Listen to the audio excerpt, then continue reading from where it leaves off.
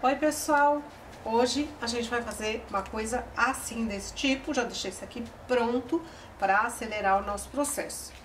Olha só, o que, que a gente vai precisar? Um pincel chato, 3 quartos, tanto faz porque isso é para molhar o papel. Um redondo eu vou usar o número 10, tem mais alguns aqui, o número 4, o número 6, não necessariamente eu vou usar. Agora, fundamental, essa canetinha aqui, de gel que vendem aí em qualquer papelaria, essa daqui é uma branca, tá? Pra gente poder é, fazer esse trabalho aqui em cima, porque ele cria uma dimensão diferente, né? E fica um trabalho muito legal, muito bonito e ele ajuda muito a pessoa a se desestressar, se soltar, se sentir é, bem, tá? Então, essa é a razão que a gente vai fazer isso hoje. Que, que você pode pegar? Uma folha de papel. Essa aqui, por exemplo, ela tá com um defeitinho aqui. Então ela é ideal para eu fazer um trabalho de mancha é, e não perder a minha folha de papel, não ter que jogar ela fora. A gente vai reaproveitar, tá? Então vamos lá. Fazer primeiramente o fundo. Vou molhar bem, né? Pra ficar bem difuso. Agora eu vou pegar o pincel redondo Vou trabalhar da cor mais clara para a cor mais escura. Lembra sempre disso quando você for ah, aquarelar, porque, ó, yellow ocre, porque depois que eu colocar o escuro, eu não consigo voltar para o claro. Então, eu vou colocar aqui um pouco do, do yellow ocre, aí eu vou entrar com laranja. Como essa manchinha aqui, ela é avermelhadinha, eu tô indo para esses tons mais quentes você vai colocando as cores, faz aleatório, não se preocupa com nada. Deixa acontecer que no final o resultado sempre é bonito. Pronto, agora já tá seco e já dá para trabalhar com a caneta branca aqui nesse trabalho. Vocês viram como perdeu cor? Porque quando seca, dependendo do papel que você usa, a aquarela, ela perde muita muito percentual de cor, tá? Então, vamos lá. Aí você vai começar a brincar com linha. É uma brincadeira mesmo. Sabe aquela coisa de quando a gente tá falando no telefone e você começa a riscar? Essa canetinha aqui, quando a gente segura ela levinha, o gel sai e ela fica mais, a cor mais consistente. Na verdade, sai tinta mas é uma brincadeira super gostosa. Aproveita esse momento como fosse um momento seu, uma meditação, porque isso faz um bem danado, tanto para a criatividade quanto para o seu desestresse.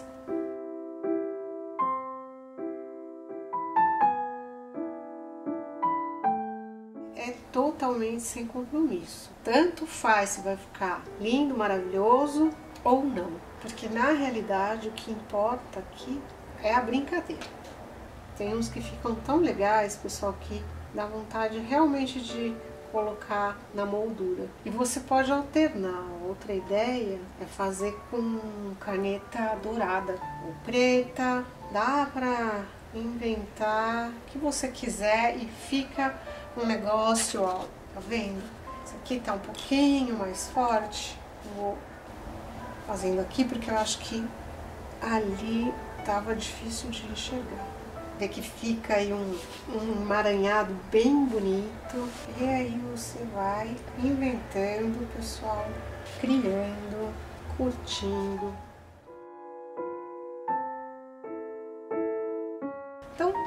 Essa que é a brincadeira que eu queria mostrar para vocês. É um fundo, canetinha de gel branca ou a qualquer cor que você é, prefira ou escolha, né? E fazer um trabalho, ó, bem legal.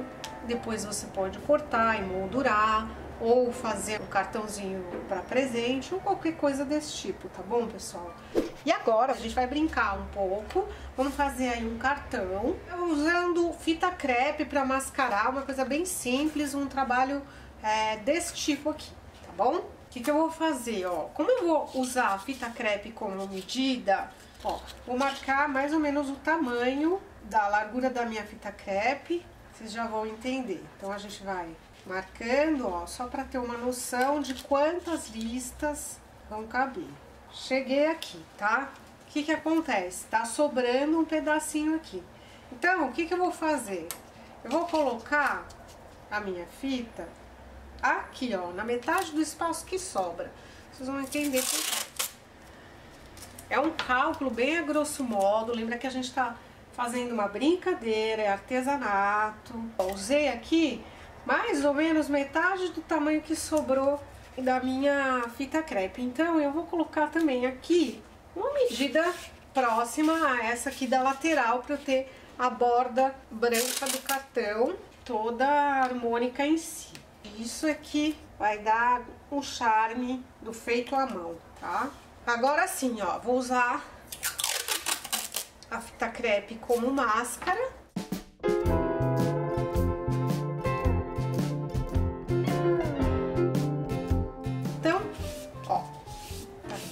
Bem coladinha, tem que ser papel pra aquarela, tá? Senão ele não aguenta, dependendo do papel que você usa, se eu colocar a fita crepe num sulfite, a hora que eu tirar, rasga tudo.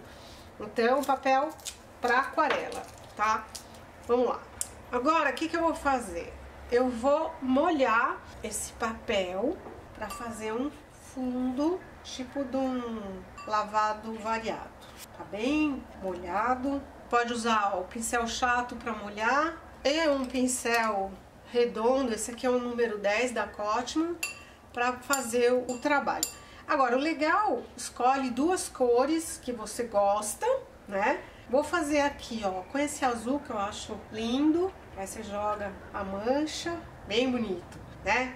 E aí, vamos lá, vamos escolher uma outra cor. Eu amo violeta, vou colocar. Você pode jogar aleatoriamente, pode deixar algumas áreas em branco, outras misturar tinta de aquarela boa, ela mistura, né? Ela se funde uma a outra. Não vou deixar muito branco não, porque se a gente deixar muito, não vai ter um limite de área onde eu tô colocando aqui a, a fita crepe. Então, primeira parte, a gente já fez. Agora eu vou esperar secar. Bom, ó, agora a gente tira, ó lá, branquinho, beleza?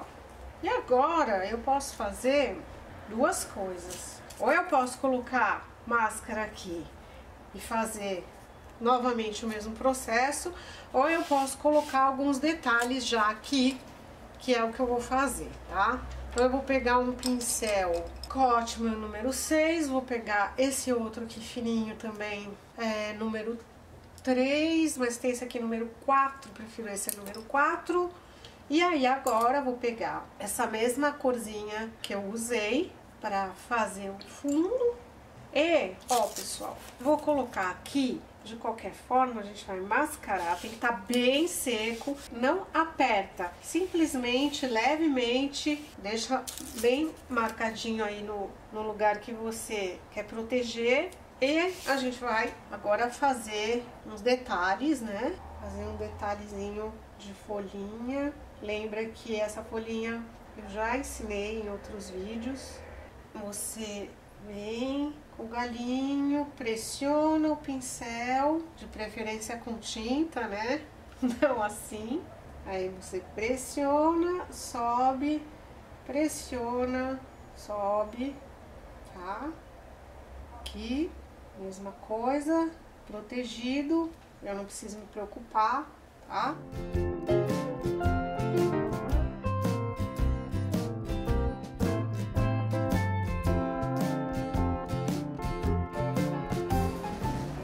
faço de propósito aqui nos cantos para justamente dar essa sensação, né, de estampa corrida, de que você cortou num determinado uh, pedaço. Ó, pessoal, cuidado com essas gotinhas, porque elas são traiçoeiras. De repente, você está trabalhando, cai uma gotinha dessa aí. Enfim, ó, levemente tá ok. Aí eu passo pra cá. Como ela já foi usada, tem menos cola. Isso ajuda a não ah, danificar né, a parte pintada. Se a sua fita crepe tiver com muita cola, procura tirar essa cola em alguma superfície, né? Vamos lá, então. Agora, posso fazer o mesmo trabalho, só que agora eu vou predominância de, de violeta do lado de cá.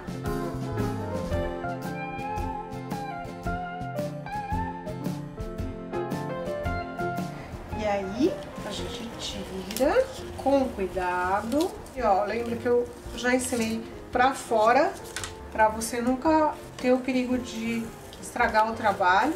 Às vezes dá uma rasgadinha assim, quando você molha muito, a gente puxa pra fora. Olha que legal. E aí tá pronto o seu cartão, né? Você pode colocar junto de um presente, é, junto com uma flor, enfim. Aqui você abre, você escreve, né? E é isso. Espero que vocês tenham gostado. Se vocês gostaram, deixa seu like, que é super importante para mim. Se inscrevam no meu canal. Se você quiser ser notificado dos outros vídeos, clica aí no sininho que a gente avisa. A gente coloca dois vídeos por semana. Qualquer dúvida, sugestão, qualquer coisa que vocês quiserem é, escrever, aproveita, faz seu comentário aqui na folha, tá bom? Super obrigada e até o próximo vídeo, pessoal!